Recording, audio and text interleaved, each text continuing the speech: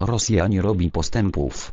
Pentagon mówi o desperackiej próbie Pentagon. Rosja jest w desperacji. Próbuje odzyskać impet, ale brakuje jej rakiet. Znak zapytania wojska rosyjskie nadal nie poczyniły znaczących postępów w swej ofensywie na Ukrainie, przekazali przedstawiciele amerykańskiego Pentagonu. Jak uściślili, agresorzy, w coraz większym stopniu opierają się na ostrzałach miast z daleka, co świadczy, że w desperacji, próbują odzyskać impet.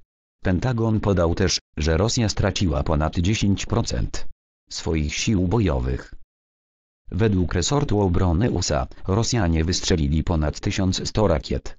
Wciąż mają ponad połowę zapasów tej broni, ale, według informacji Pentagonu, zaczyna jednak odczuwać pewne problemy z dostępnością precyzyjnych pocisków.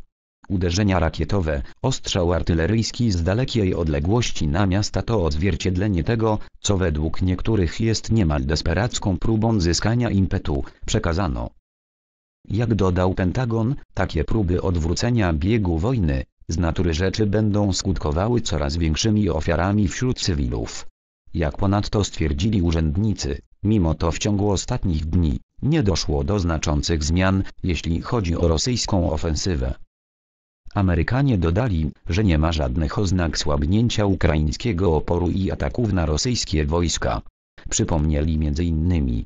ukraińską kontrofensywę pod Mikołajowem w kierunku Hersonia na południu kraju.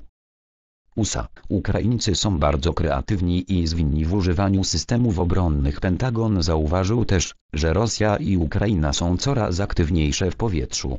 W ciągu ostatniej doby rosyjskie siły powietrzne wykonały około 300 lotów, choć w większości nie zapuszczały się one daleko w głąb terytorium Ukrainy, między innymi w obawie przed systemami obrony powietrznej, uściślił.